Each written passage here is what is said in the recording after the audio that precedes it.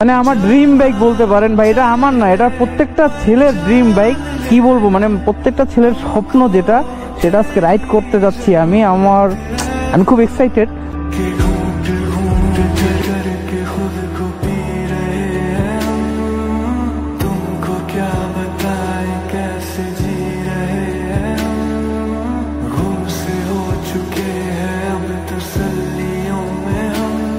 Yeah, yeah.